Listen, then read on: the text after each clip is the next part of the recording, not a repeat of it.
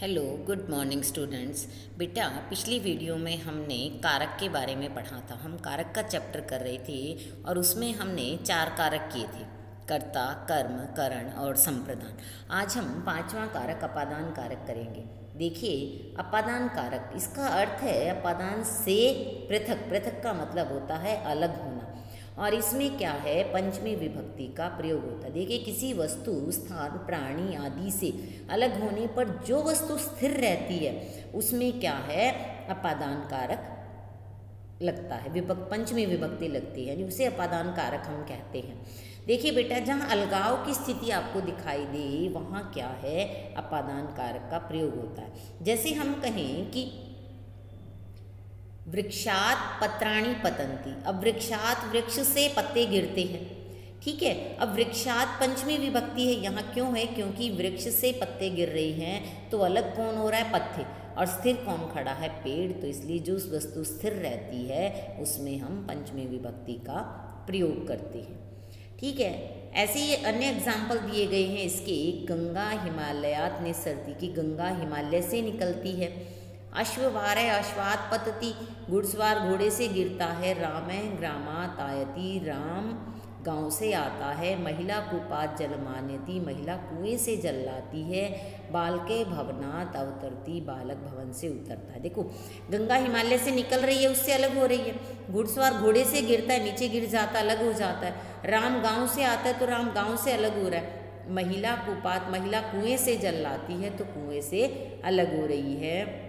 बालके भवनात अवतरती, बालक भवन से उतरता है। इसका मतलब बालक जो है वो भवन से अलग हो रहा है। इसके बाद है नेक्स्ट बेटा, संबंध कारक। अब संबंध कारक में काके की षष्ठी विभक्ति का प्रयोग होता है। अब यहाँ जब किसी वस्तु, प्राणी या संज्ञा का किसी अन्य वस्तु या प्राणी या संज्ञा के साथ संबंध हो तो वहाँ क्या है? संबंध कारक होता है और उसमें षष्ठी विभक्ति का प्रयोग होता है। जैसे रामस्य माता अगस्ती, अब राम की माता आती है। अब यहाँ कर्ता तो माता है, लेकिन यहाँ रामस्य माता, राम की माता आगस्ती आती है। रामस्य राम की माता।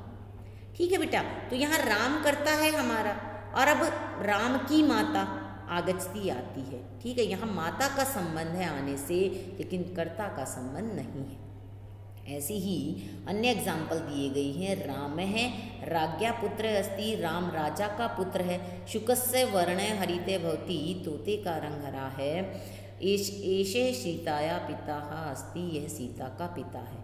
मम माता शिक्षिका अस्ति, मेरी माता शिक्षिका है। रामस्य पिता दशरथ अस्ति, राम के पिता दशरथ है। देखो, ऊपर हमने रामस्य माता, अगस्ती राम की माता। अब यहाँ राजा का पुत्र ठीक है? शुकस्य तोते का रंग हरा। तो बेटा, यहाँ क्या है? कर्ता का संबंध क्रिया से नहीं है। उसका संबंध किसी और से है जैसे शुकस्य वर्ण, तोते का। किससे संबंध है? हरे रंग से। नेक्स्ट है बेटा, अधिकरण कारक। अब अधिकरण कारक, क्रिया के आधार को हम अधिकरण कहते हैं। ठीक है, अधिकरण कारक का कारक चिन्ह है में और पर, और विभक्ति कौन सी लगती है? सप्तमी विभक्ति। देखो, क्रिया के आधार को हम कहें कि पक्षी पेड़ पर बैठे हैं। अब पक्षी करता है हमारा, लेकिन वो कहाँ बैठे हैं? पेड़ पर। तो उनका बैठने का आधार क्या है? पेड़ है। पक्षी आकाश में उड़ते हैं तो उनके उड़ने का आधार क्या है? आकाश है। जैसे यहाँ वाक्य दिया गया है सह ग्रामे वसती कि वह गाँव में रहता है। तो वह कहाँ रहता है? गाँव में। तो उसका रहने का आधार क्या है? गाँव। तो बेटा, ये अधिकरण कारक है। तो बेटा, इस तरह से हमने अपने सभी कारकों के बारे में जाना और मुझे पूरी उम्मीद है कि आपको अच्छे से समझ में भी आ गई हों। अगर फिर भी आप लोगों को लगे कि हमें अच्छे से क्लियर नहीं हुए तो आप अपने कक्षा अध्यापक या अध्यापिका से इस बारे में पूछ सकते हैं। धन्यवाद।